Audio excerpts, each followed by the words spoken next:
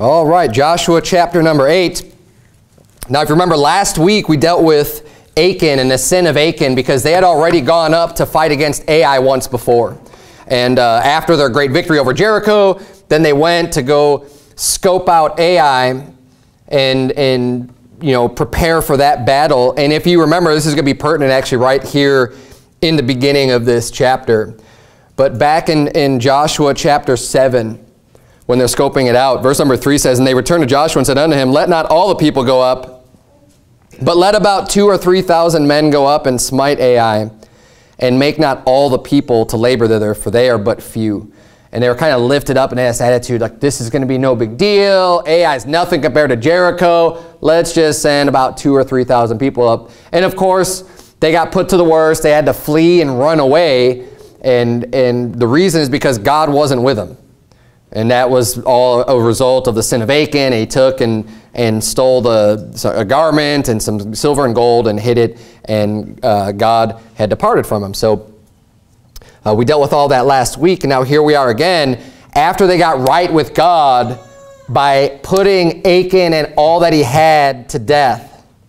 That was the punishment to get the wickedness out of the camp. They, they stoned him, they burned him with fire, they, you know, Everything that he had, his family, everything was destroyed as the curse of Jericho fell upon Achan. And um, as a result of that, as a result of their actions, as a result of their commitment to being right with God and not wanting to just, you know, be, be so um, sensitive and so embracing of wickedness and, and, and they, did, they didn't have that type of mentality of, oh, we can't do this, you know, we're too loving for that. No, they, they loved God more than anything, and they, they wanted to be used of God, so they followed His commandments. When they found out that there was wickedness, they took care of it the way that God had told them to take care of it. So, as a result of that, because they got right with God, now God's saying, great, don't be afraid. Look at verse number 4 says, And the Lord said to Joshua, Fear not. Neither be thou dismayed. He's saying, now you have no reason to fear. Now you have no reason to be scared or discouraged. You lost before, but you're right with me again now. Now you can have all the confidence in the world to go back out and to fight and to do a good work for me. And hey, you know, we need to remember that sometimes. Maybe you do come across a point in your life where you, you end up, you're not right with God. And, and you backslide and you start getting into sin or whatever, don't forget that you can still be used of God once you just get right with Him. Get right with Him. Get back in the fight. Get back going again. Now, hopefully everyone here, you're, you're all right with God as it is right now, but just keep that in mind for the future. Everybody slips and falls from time to time. Everyone deals with their own sins and their own problems.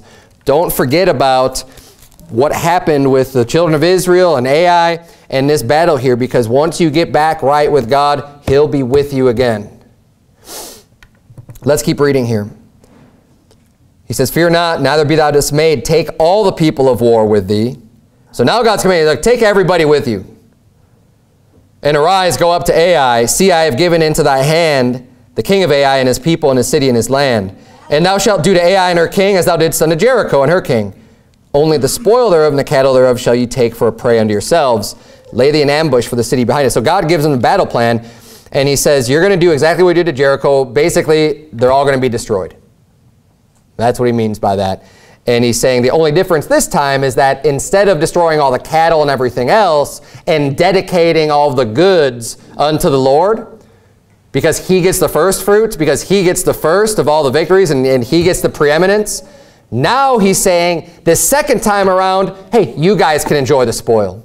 You can receive of the reap of the, the benefits of, of gaining this victory in this war. You can get their cattle. You can spoil them and, and take their goods, but everything else is getting burned up. You're still destroying the city and, and bringing it down to the ground, but now it's your turn. God's first, and then you get to receive the blessing from the victory afterwards. Verse number three, so Joshua arose and all the people of war to go up against Ai, and Joshua chose out 30,000 mighty men of valor and sent them away by night. A little different between two to 3,000 people, right? That they want to do, ah, don't send everybody out there. Yes, two or 3,000 people. Now he sends 30,000 people. Now, just to put this in contrast though, of what they were actually going up against, if you want to skip ahead to verse number 25, we see the results of their victory of like how many people died in the battle. It says in verse 25, And so it was that all that fell that day, both of men and women, were 12,000, even all the men of Ai. That also helps give us a little bit more of an idea of kind of how lifted up they were going, oh, it's not that big of a deal, only sent two or 3,000 people. 12,000 people died. Now, I know there are some women. Let's say half of them are women. That's still, you know, we're talking like 6,000 men. That's a lot of, that's a lot of, a lot of people. They're pretty confident going up against them. And God's like, no, all of you go and do the work. And you remember, you know, God's always, of course, is capable of saving by few as much as by many. But didn't he also tell the children of Israel, hey, you have your inheritance here. Remember the ones that got their, their inheritance on the other side of Jordan? He's saying, but you still have to go and fight with your brethren. He always wanted all of them in the fight and in the battle. And when there's a battle going on, he's like, I want all of you guys being there. You're all there to support each other. You don't just, oh, now I'm good, and I'm just going to let you go off and get into the fight. And we don't want to let our brothers and sisters down in their spiritual battles. We need to be there for them and, and support them and be right up there with them. And this goes to anyone that you agree with, that you, that you think is on our side and fighting the same cause, support those people. Whoever it is. Members of the church, leaders, whoever it is. You know, one of the things that's, that's damaging to do, and this is something, I don't think people are doing this as much anymore. But I was even guilty of this. I remember going out soul winning when I first started going to Faithful Word Baptist Church. Because it was so, so hard preaching was so foreign to me, I loved it. Don't get me wrong. I loved it. I loved every single minute of it, every single second of it. I love it. I still love it. It's great. But it was so foreign because I wasn't hearing it from anywhere that it seemed extreme and radical and just, you know, out there. And even when I'd go out soul winning, I'd tell people, you know, it, you know, it's kind of uh, trying to prep them to like get used to it. But that's not the right attitude to have. Because there's really nothing abnormal at all about God's word. There's nothing extreme about this. Like the people who should be you know, a concern about how anyone might think is the world and the wickedness of this world. And, and, you know, people like that, people who are promote wickedness, they're the ones that ought to be scared and ashamed or, or concerned even, even not scared or ashamed, but just concerned about what other people might think. We ought not to care what other people, you don't need to give anyone a disclaimer before they come. And, oh, just to let you know, you know, you might, he might say something that's offensive or might, you know, like we don't need to give those disclaimers for if someone's preaching the word of God. And especially when attacks are coming against the man of God. Don't be embarrassed or ashamed of that. And, and oh, I don't want to have anything to do with, I don't want to have anything to do with those people. You know, there were a few people that when the, when the news media came at Faithful Word Baptist Church, they didn't want to be seen on the, on the TV cameras and stuff, and they tried to distance themselves from having anything to do with them, with us, with Pastor Anderson. But those are the most important times. See, some people, they'll go for a little while and then come back just because they don't want to be, you know, associated with that. And, you know, I don't want to have all that attention on me. And, but what they're doing is, it's like they're retreating from the battle and they're just letting their leader to go out and die. But don't do that. Don't, don't leave that. That is the very moment that you need to be there even more. That's the moment when Pastor Jimenez needed his, his friends and his supporters more than ever is when all that stuff went down with Orlando nightclub. And all the media is attacking him and everyone's going against him. Pastor Logan Robinson, Robertson right now needs people more than ever to stand up with him. So he doesn't just look alone because I'll tell you what, it's going to, the, the, the people who hate God are going to have a field day if everyone just backs away from him. Especially those that actually believe in what he's doing and agree with him, but you're afraid to get out there on the front lines. Don't do that. He needs you now more than ever. Everyone should be standing up and saying, yep, I agree 100%. Islam's a wicked religion. Muhammad was a pedophile. Yes, a pedophile. He consummated a marriage with a nine-year-old. That's a pedophile. And it's a wicked religion. We don't back down from that. And I don't care if people don't say things exactly the same way that you might say them. If they're, if they're preaching God's word and if they're standing for the truth and they're boldly proclaiming it, support them. They need your support. Be out there with them. There's a battle going on all over the place. There's all kinds of battles. We need to, we need to stay with them.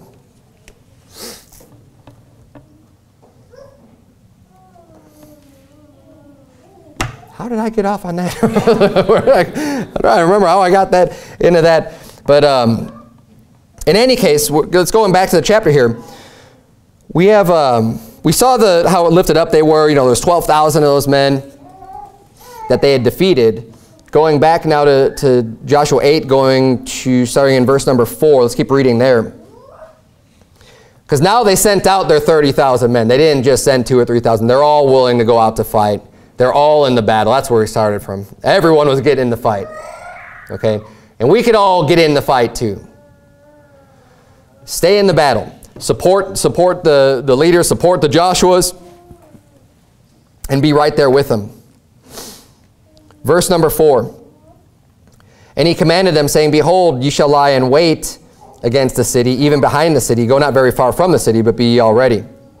And I and all the people that are with me will approach unto the city, and it shall come to pass when they come out against us, as at the first, that we will flee before them. For they will come out after us, till we have drawn them from the city. For they will say, They flee before us as at the first, therefore we will flee before them. So he's giving them the battle plans. He's saying, Okay, we're going to set up an ambush.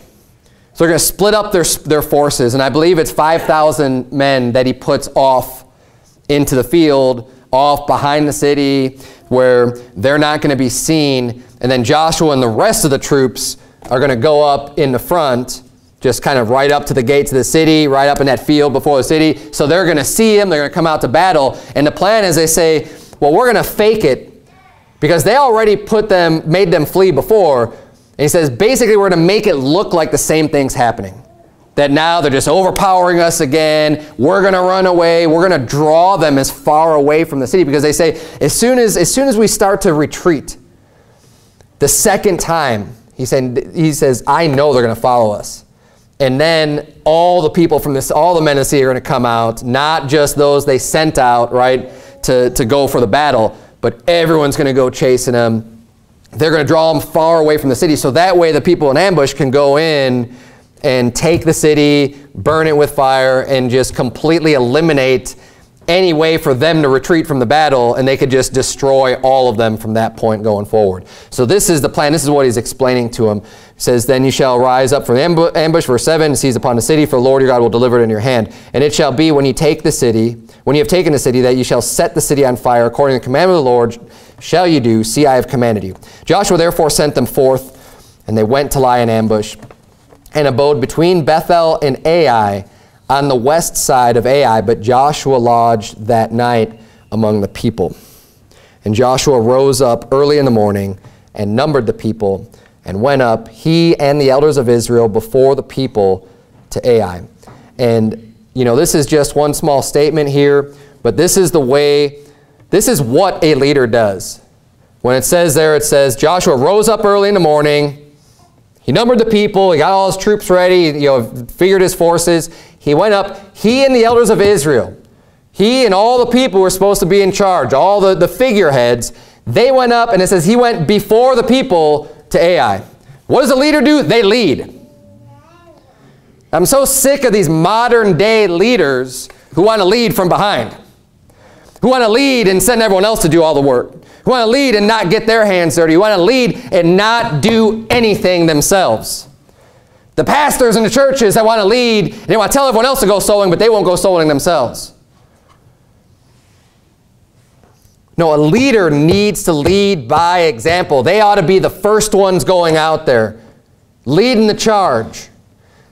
Even just, just humanly speaking, you know, in, in this country, the way things used to be, I mean, think about the previous presidents of the United States, like George Washington, like so many of them were, were in the military, right? They were leaders.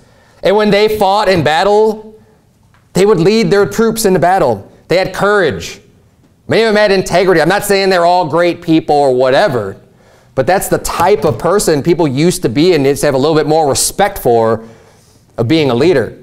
Nowadays, it's just, oh, this person made a lot of money, or, you know, they, they, they ratted people out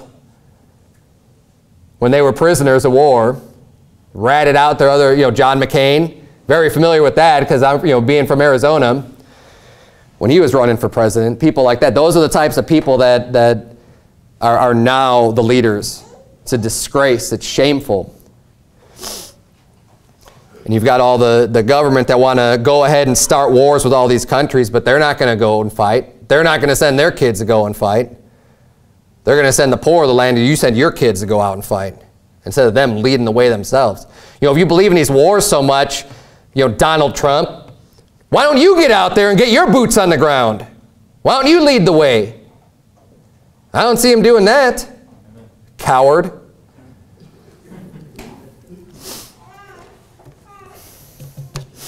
Joshua had no problem doing it. But see, Joshua had no problem doing it because Joshua knew the Lord was with him. There's no way the Lord's going to be with any of these wicked leaders today that are going to fight their wicked wars that have nothing to do with, serve, with, with being a righteous cause at all. You don't have to worry about the leader dying when the leader is serving the Lord. Let's keep reading here. But I, I, love, I love that about Joshua. I love that about all the great leaders in the Bible. They just go forward and they lead. And the people can go out and follow them. Verse number 11.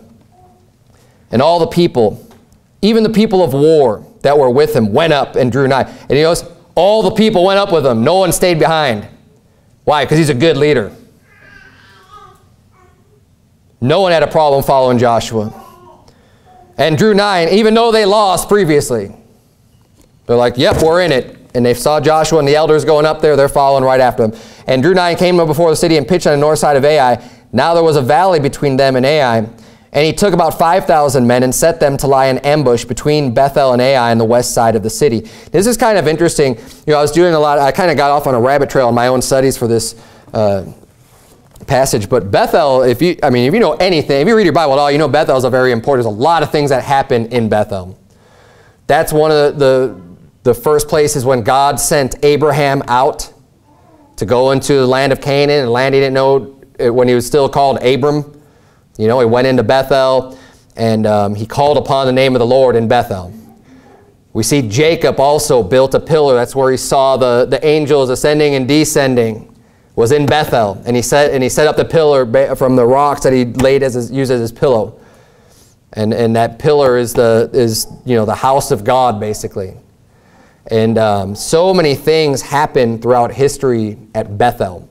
So we see here Bethel is really, really close to Ai. Now, for as much as you see Bethel mentioned, you don't see Ai mentioned pretty much like any more in the Bible because it's destroyed here in this chapter, just like Jericho was. Now, Jericho was rebuilt, but I don't see any evidence of Ai being rebuilt. I'm not saying it wasn't, but um, it never was significant anymore after this battle. But it was obviously very, very close to Bethel because here it says they were, lay, they were lying in wait in the valley in between these two cities.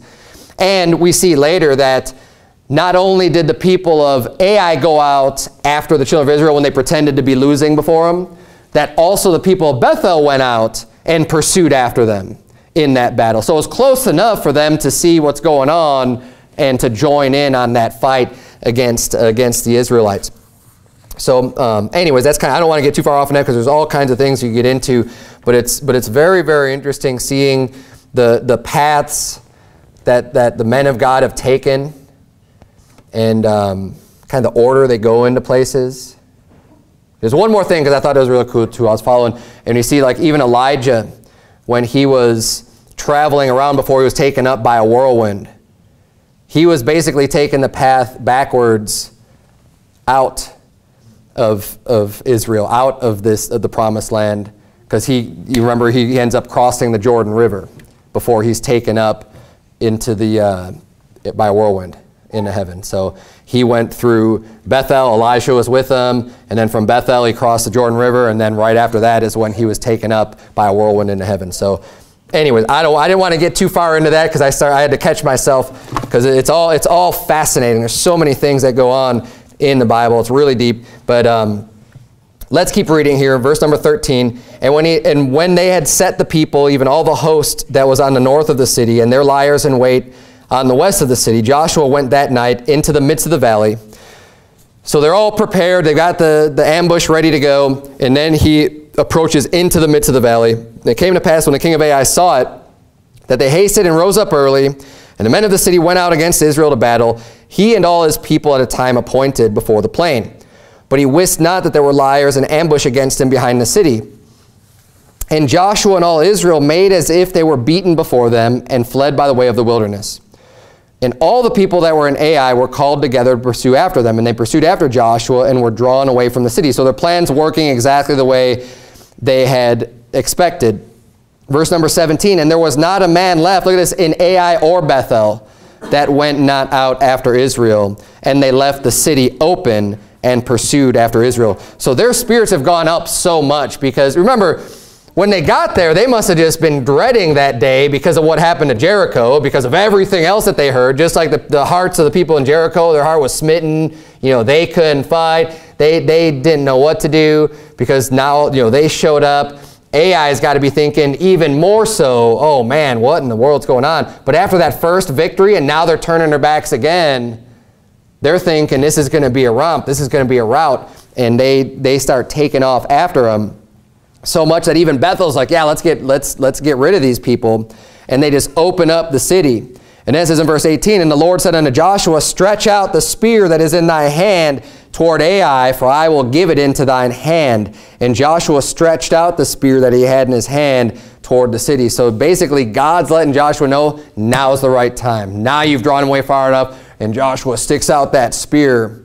Then letting everybody know those in ambush that it's time to set the trap, and those that are with them now that it's time to start fighting back against them because they were faking it. They were running away just to draw them far enough away to then it's going to be time to start turning around and actually fighting with them again and while the ambush is being set and they're starting the city on fire. And it says here in verse number 19, And the ambush arose quickly out of their place, and they ran as soon as he had stretched out his hand. And they entered in the city, and took it, and hasted, and set the city on fire. And when the men of Ai looked behind them, they saw, and behold, the smoke of the city ascended up to heaven. And they had no power to flee this way or that way. And the people that fled to the wilderness turned back upon the pursuers. And when Joshua and all Israel saw that the ambush had taken the city and that the smoke of the city ascended, then they turned again and slew the men of Ai. So, and it says, and this language can be maybe a little bit confusing, but it's really not when you just understand the basics of what's going on, because it just uses a lot of pronouns they and them. It says, on the other issued, and the other issued out of the city against them. So they were in the midst of Israel, some on this side and some on that side and they smote them so that they let none of them remain or escape. Basically, what this is just saying is that the people who, who set the ambush, set the city on fire, when Joshua gave the signal, they went and did that. At that time, Joshua's men all turned back to fight with the men of Ai. Men of Ai turn around, they see that the city's up and going up in flames. They see that, oh no, our city's being burnt down. And then as soon as the city was lit on fire, that whole 5,000, you know, set of troops that went in to do that, now they're coming out to join the battle. So that way the men of Ai have Israel on in front of them and behind them. Basically, it's just kind of on all sides. They're surrounded by the Israelites. They can't retreat. They have nowhere to go. They're doomed. So they've got people fighting all around. And that's basically what's taken place here. And it says they let none of them remain or escape. Verse number 23, and the king of Ai they took alive and brought him to Joshua. So they killed everyone else. They captured the king. They bring him to Joshua. Verse 24, and it came to pass when Israel made an end of slaying all the inhabitants of Ai in the field, in the wilderness wherein they chased them, and when they were fallen on the edge of the sword until they were consumed, that all the Israelites returned unto Ai and smote it with the edge of the sword. So basically, they go in and finish the job because they were being utterly destroyed just like they did to Jericho. because that was God's command that that's what they were supposed to do. They were to wipe them all out. So all the men of war first, of course, they, they defeat them in battle, and then as soon as that's done, they all head back into the city. They finish the job. And um, verse 25 says, And so it was that all that day, all that fell that day, both of men and women, were 12,000, even all the men of Ai, for Joshua drew not his hand back, wherewith he stretched out the spear until he had utterly destroyed all the inhabitants of Ai. And I like that, that phrase, Joshua drew not his hand back. You know, Joshua sets that, that spear forward, and he's like, and that spear doesn't come back until everything is done and consumed. Now, I personally think this is more of a, of a figure of speech of basically saying that Joshua didn't let up and he didn't relent. But it reminds me of other stories in the Bible um, where Joshua can learn this from. I think of with Moses. If you want to turn real quick to Exodus 17. There was another battle that Joshua was actually fighting in and Joshua was leading that Moses helped with from afar. In Exodus 17,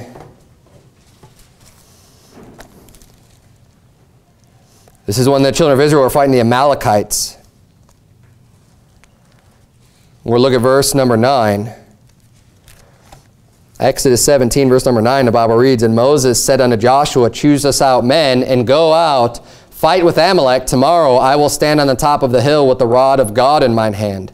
So Joshua did as Moses had said to him, and fought with Amalek.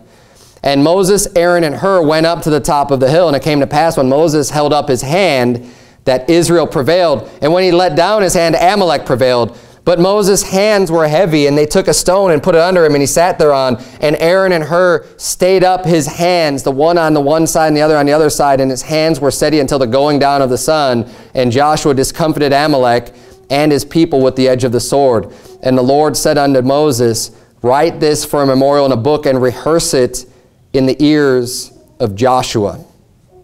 For I will utterly put out the remembrance of Amalek from under heaven.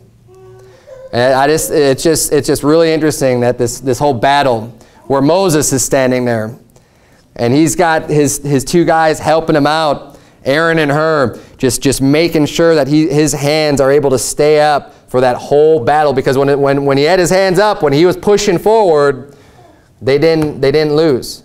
It wasn't until he started to bring his hands down that he started to lose. And after all this stuff happens, God tells Moses, saying, you know what, write all this down in a book. And, and he, spe he specifies Joshua. Rehearse it in the ears of Joshua. Make sure Joshua knows this.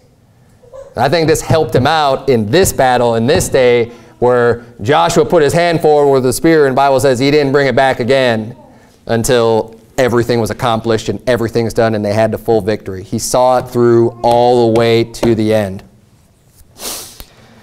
Another point to this, turn if you would to 1 Kings chapter 20. When God tells you to do something, we learn this from the Bible, you do it to the, to the maximum, to the full, to the fullest extent that God says to do something, do it all the way through. Finish the job, see it through completely. Don't, don't give it a half job. Do, do, do your best. Give it all the way full. And this reminds me, you know, as, as we already see, again, Joshua doesn't draw back his hand. He sees it through to the end in 1 Kings chapter 20, we have a story of one of the, the prophets. Very interesting story, 1 Kings chapter 20. He's going to go preach to the king, but he wants to make it look like he was in the battle, so he tells the guy to hit him in, in, in the face. Right? Like, you know, smite me. And the first guy didn't want to do it. We'll read the story here. Look at verse number 35. It says, And a certain man of the sons of the prophets said unto his neighbor in the word of the Lord, Smite me, I pray thee. And the man refused to smite him. So he's giving him a commandment of God. God, look, Smite me in the face as, you know, the word of the Lord is coming to you. It's kind of an odd command. I'll give you that. But nonetheless, it was, it was in the word of the Lord. He's telling him, look, you need to hit me. You might not have to understand the purpose right now, but this is what you need to do. God wants you to smite me in the face. Verse number 36. Um, so he refused to do it. Verse number 36, Then said he unto him, Because thou hast not obeyed the voice of the Lord, behold, as soon as thou art departed from me, a lion shall slay thee. And as soon as he departed from him, a lion found him and slew him. That's bad news for that guy. He didn't do anything that, that He didn't, he didn't obey the commandment of God. But now look at the next guy. It says, Then he found another man and said, Smite me, I pray thee. And the man smote him, so in smiting he wounded him. He's like, all right, I got this. And he, and he gave it his all, right? He smited him and actually wounded him. So he, and you know what? He didn't get in any trouble for wounding him. He did exactly what he was supposed to do. He gave it his all.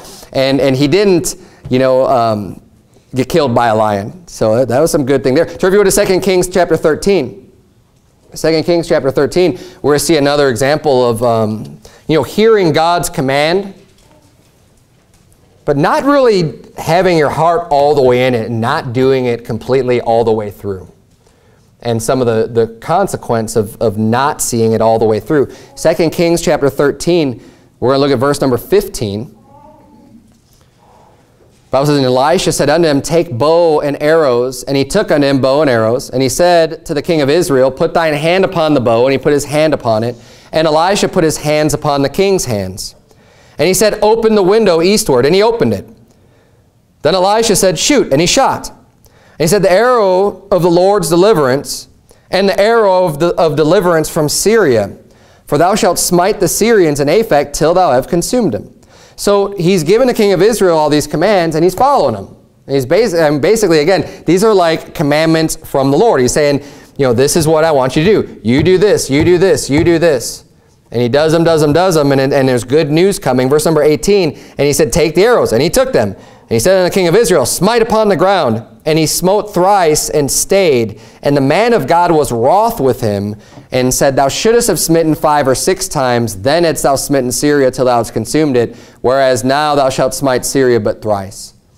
And again, we just see this, this concept of like, you know, he did it, but he, he wasn't really all in. You know, he gives it those three taps. He's like, I told you to smite it on the ground, you start smiting on the ground, you know. I tell you to go do, you know, I tell you get this job done, you get it done, you see it all the way through. God tells you to do something, put all of your heart into it, put all of your effort into it. You can't put too much into it. Let's go back to Joshua chapter 8.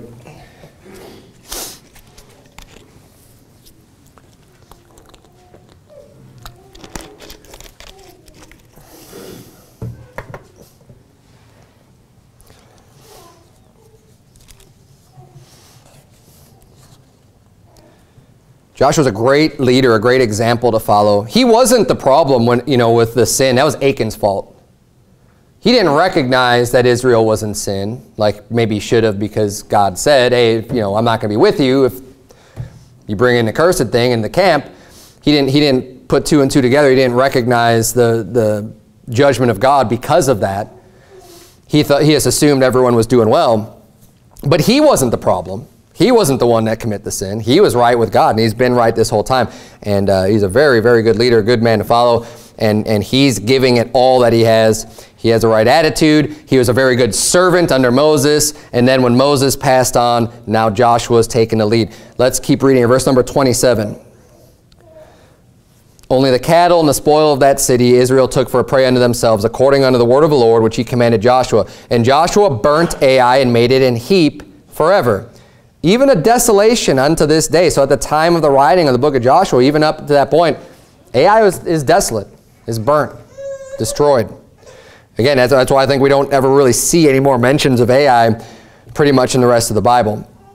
Verse number 29, And the king of Ai hanged on a tree until eventide, and as soon as the sun was down, Joshua commanded that they should take his carcass down from the tree and cast it at the entering of the gate of the city, and raise thereon a great heap of stones that remaineth unto this day. And this is just one more example of Joshua's not only his knowledge of God's law, but his dedication to keeping it. In everything that he does, he is obeying the word of the Lord to the T to the letter. I mean, he's, he's, he's following every single last bit. If he needs to destroy all the inhabitants, he destroys all the inhabitants. If he needs to burn it with fire, he burns it with fire. If he needs to, to get things right and, and bring judgment upon Achan, you know what? That's what he's going to do. And even when they bring him this king of Ai, and he destroys him, and he hangs him on a tree, and he brings that judgment upon him, he still obeys the word of the Lord and takes him down at eventide as the, the Bible says. If you want to follow us, you can. Otherwise, I'm just going to read it for you. In Deuteronomy 21, we see this law about not leaving a body up on the tree after they've been put to death. That you don't leave it there overnight. And this is just one small example, but we just see, even in every little detail and all the small examples, Joshua is just following God with a perfect heart. Deuteronomy 21, 22 says, And if a man have committed a sin worthy of death, and he be, and he be to be put to death, and thou hang him on a tree, his body shall not remain all night upon the tree, but thou shalt in any wise bury him that day. For he that is hanged is accursed of God. That thy land be not defiled, which the Lord thy God giveth thee for an inheritance. So just as they're going in to inherit the land, Joshua is careful not to defile the land right away, right? By just leaving this body up all night on, on, on the tree or on a cross, or wherever they, they, um, they hung him up. And he did bury him. It says they put his body on the ground and they covered him with stones. So they, they buried him with rocks. It wasn't uh, necessarily an honorable burial, but he buried him nonetheless. So continuing on here in Joshua chapter 8, verse number 30, the Bible reads, Then Joshua built an altar unto the Lord God of Israel on Mount Ebal, as Moses, the servant of the Lord, commanded the children of Israel, as it is written in the book of the law of Moses, an altar of whole stones, over which no man hath lift up any iron. And they offered thereon burnt offerings unto the Lord, and sacrificed peace offerings. And he wrote there upon the stones, a copy of the law of Moses, which he wrote in the presence of the children of Israel. Now, we often use the phrase about something being written in stone. We say, ah, that's not really written in stone. Well, you wonder where that phrase comes from. It comes from here. It comes from the, the laws of God, not, not necessarily just this story. You know, the Ten Commandments were written in stone with God's own hand. It's something that's written in stone. Why is it written in stone? Because it's going to last. It's built to last for and, and, and just, just stand true and stand the test of time because it's actually written in stone. And when, when we see God's law being written in stone,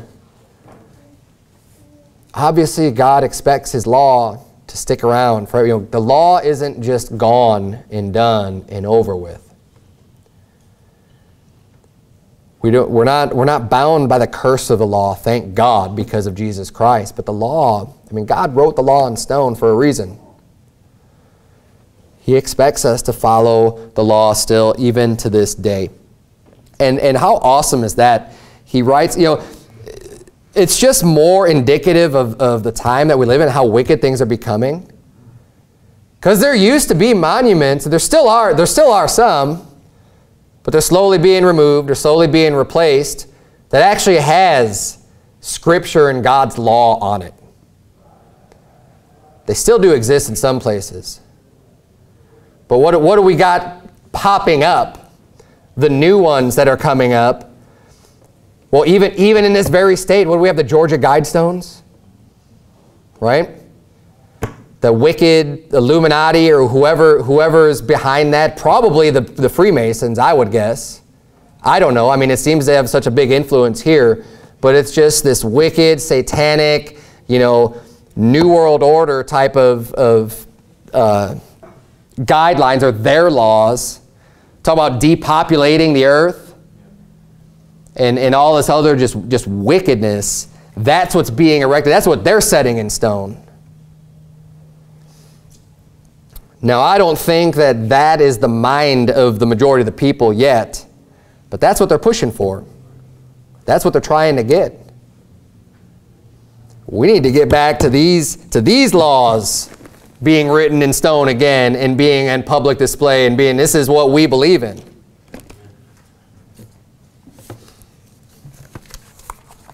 And people actually believing it, trusting in it. Keep reading here, verse number 33. And all Israel and their elders and officers and their judges stood on this side the ark and on that side before the priests, the Levites, which bear the ark of the covenant of the Lord, as well the stranger as he that was born among them. Half of them over against Mount Gerizim, and half of them over against Mount Ebal, as Moses, the servant of the Lord, had commanded before, that they should bless the people of Israel. And afterward he read all the words of the law the blessings and cursings according to all that is written in the book of the law. There was not a word of all that Moses commanded, which Joshua read not before all the congregation of Israel, with the women and the little ones, and the strangers that were conversant among them. So just real quick before I get into this last point for this whole chapter is um, notice the women, the children, they're all there. They're all there for the reading of God's Word, for the teaching of God's Word. They're all there in this great congregation. Everyone's there. They didn't separate the little ones. They're there. But not only that, it says that he didn't leave out a word, not one word. Again, just showing Joshua's faithfulness and dedication that he does everything the way that he's being told to do them. He's a great leader. But um, equally amazing, I think, let's turn back to Deuteronomy 27, where this comes from. Because what this is saying is that he's already been, it was already ordained and commanded that he is going to do, he was going to do the things that he did and he followed through with at this mount with these people with erecting the, the, the, the laws of God being etched in stone and reading the words of the Lord and these blessings and these cursings are actually read out loud at this point that Moses says, hey, you're going to get into the promised land, you're going to inherit the promised land, and this is what you're going to do, and here is where you're going to do it. And God leads them through the battle to where now they're at this place and they're going to uh, fulfill this word of the Lord. Deuteronomy chapter number 27 and 20. We're not going to read through all of this, but I encourage you to do so because there's a, there's a lot here in these chapters. This is when Moses is instructing what they need to do. We're going to start reading here.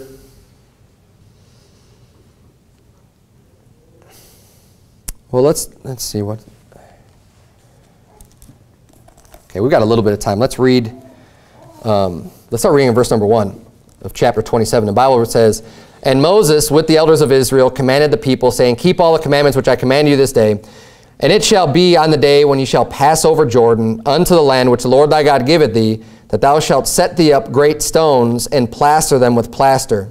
And thou shalt write upon them all the words of this law when thou art passed over, that thou mayest go in unto the land which the Lord thy God giveth thee, a land that floweth with milk and honey, as the Lord God of thy fathers hath promised thee. Therefore it shall be, when ye be gone over Jordan, that ye shall set up these stones, which I command you this day, in Mount Ebal. And thou shalt plaster them with plaster. So this is the commandment he's given, because that's where they're at right now. Now they've made it to Mount Ebal. They've destroyed Ai, and that's where they're at. And now they're setting up this law of the Lord, and they're setting it up, and they're plastering these, these stones together. And they, they, they make that altar, and they offer their sacrifices, and, uh, and praise the Lord with that. And they partake in that. We're going to see some of that here.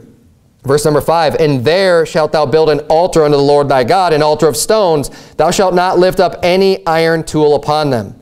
And we see that's exactly what they do. Verse number 6, Thou shalt build the altar of the Lord thy God of whole stones, and thou shalt offer burnt offerings thereon unto the Lord thy God. And thou shalt offer peace offerings, and shalt eat there and rejoice before the Lord thy God. And thou shalt write upon the stones all the words of this law very plainly. Very plainly. Easy to see, easy to read, understand. These are God's laws. And you know what? God's laws aren't difficult. He didn't make his laws confusing. And, oh, man, I don't know what this means. He made them about as easy as they can be. And when you hear people try twisting God's laws and meaning something else other than just what it plainly says, you're dealing with someone who's not being truthful with Scripture. At best. But probably a false prophet but someone who just doesn't like what the Bible says, or they're lifted up in their own pride and, and, and they think that they know so much that they know more than just what the Bible actually says is what it means. But the, he wants it plain. He wants his words etched in stone and there uh, when they come in. Let's keep reading here in Deuteronomy 27, verse number 9. The Bible says, And Moses and the priests, the Levites, spake unto all Israel, saying, Take heed and hearken, O Israel. This day thou art become the people of the Lord thy God. Thou shalt therefore obey the voice of the Lord thy God, and do his commandments and his statutes, which I command thee this day. And Moses charged the people the same day, saying, These shall stand upon Mount Gerizim to bless the people when ye are come over Jordan. Simeon and Levi and Judah and Issachar and Joseph and Benjamin. And these shall stand upon Mount Ebal to curse, Reuben, Gad, and Asher, and Zebulun, Dan, and Naphtali. He's, he's given them all the way, you know, this is exactly what they're supposed to do. This is coming to pass in Joshua chapter 8, verse number 14. And the Levites shall speak. So he lines up the, you know, the 12 tribes, half on one side, half on the other side, one mountain, the other side, another mount, and they're going to give the blessings and the cursings of the Lord. Blessings, basically, if they obey the word of the Lord, and cursings if they disobey. And guess what he starts off with? the cursings. He goes to the blessings, but then you know what happens again in these two chapters? He tells them about the cursings again. You know, people want to criticize the preaching.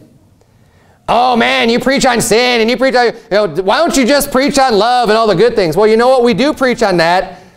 But when you read the Bible, you read way more about the cursings. You read way more about the don't do this and don't do that than you read about all of the positive things. It doesn't mean there's no positive things, but you see them a lot more. You get a lot more warnings. Why? Because we need the warnings. We need the warnings more than we need to feel good. We need to feel good sometimes for sure, but we need the warnings to help us to stay right with God. And, it's, and, and honestly, it is, it is a much better, um, a much better way to, to keep us right, keep us in the fear of the Lord. Let's read, let's read through a little bit of this and then, and then we'll be done. Girls, hush your mouth and sit down. Pay attention. Deuteronomy 27, look at verse number 11. And Moses charged the people the same day, saying, These shall stand upon Mount... Oh, wait, I already read that. Let's go down to verse number 14. And the Levite shall speak and say unto all the men of Israel with a loud voice, Cursed be the man that maketh any graven or molten image, an abomination unto the Lord, the work of the hands of the craftsman, and putteth it in a secret place. And all the people shall answer and say, Amen. Cursed be he that setteth light by his father or his mother. And all the people shall say, Amen. Now, real quickly, I just want to go over this verse real quick. It says, Cursed be he that setteth light by his father's mother. It's not talking about bringing a lamp and putting a light by your mother and like by their, by their bedstand. The, the phrase that's if you set by something, it's talking about putting something away for the future. Like if you set by money for, to take a vacation in the future, that's what the, it's, it's a phrase that we don't commonly use very much. That's why I got to bring it up. But the, the phrase to set it by is to, is to prepare for and, and to, to put money away or whatever. And to set light by is meaning you're not really doing that, you're not really caring, you're not, you're not preparing, which obviously this ties in with we need to honor our father and mother. And as we go through this, you'll see a lot of like the Ten Commandments kind of brought up in this list. And, he's, and I think this is just even more evidence to what I believe when the Bible's talking about honor, it's not just talking about respect. It's actually more frequently and, and more rightfully talking about the actual provision monetarily of taking care of somebody. Honor your father and mother is talking about taking care of them when they get older. And that it's your obligation and responsibility. And you know what? That's a subject that this, that this era needs to hear probably now more than ever as people are just ignoring their parents and kind of doing whatever with them instead of actually caring for them. But there's, a, there's a lot that goes along with, with that subject, so I'm not going to get into that tonight. But um, that's what he's talking about here. This is, and this is something that, you know, it doesn't bring up every sin in these cursings. But these are the ones he feels is important enough to bring up right now, and they're going to be written in stone here. Cursed be him that setteth light by his father or his mother, and all the people shall say amen. Verse 17, Cursed be he that removeth his neighbor's, his neighbor's landmark, and all the people shall say, Amen. Cursed be he that maketh the blind to wander out of the way, and all the people shall say, Amen. Cursed be he that perverteth the judgment of the stranger and fatherless and widow, and all the people shall say, Amen. Cursed be he that lieth with his father's wife, because he uncovereth his father's skirt, and all the people shall say, Amen. Cursed be he that lieth with any manner of beast, and all the people shall say, Amen. Cursed be he that lieth with his sister, the daughter of his father, the daughter of his mother, and all the people shall say, Amen. Cursed be he that lieth with his mother-in-law, and all the people shall say, Amen. Cursed be he that smiteth his neighbor secretly, and all the people shall say, Amen. Cursed be he that taketh reward to slay an innocent person, and all the people shall say, Amen. Cursed be he that confirmeth not all the words of this law to do them. And all the people shall say, Amen. And that's the key verse right there. Cursed be he that confirmeth not all the words of this law. He brought up a bunch of different points. But he's saying, you know what? If you, if you don't confirm all words, he says you're cursed. And that's why you don't have to have, you know, laid with your sister or removed your neighbor's landmark or done some of the other things that are listed here in order to be cursed. Because you just break any of God's law.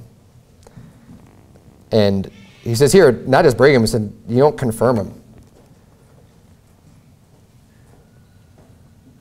People need to watch out that, that are backing off from confirming God's law. You're bringing a curse on yourself. Curse be that confirmeth not all the words of the law to do them. And all the people shall say, Amen. That's when you have the heart and the soul and the minds of people that love God that are going to say, Amen, when they hear, hey, all the words of God. They're all good. All of the law. We love it. We're not going to pick and choose which ones we like and which ones we're going to follow. We love them all. Let's bow our heads have a word of prayer. Dear Heavenly Father, Lord, we thank you so much for your words. We love your law, dear God. We, we know that the law of the Lord is perfect, converting the soul. And um, we're going to stand by your words, no matter how unpopular they ever get in society, Lord. And the more unpopular they get, the more, they, the more that this society needs to hear them. I pray that you please help us to be strong, help us to be bold in our faith. I pray that you please raise up more leaders like Joshua who are lead by example, who are going to set, set forward your words and, and follow them to a T and, and not compromise and not be a hypocrite, but just go forward and lead. God, we need more Joshuas. Help us to raise up more people like Joshua, Lord. Um, we want to do a great work for you. We love you. We love your law. God, bless our church. It's in Jesus' name we pray. Amen.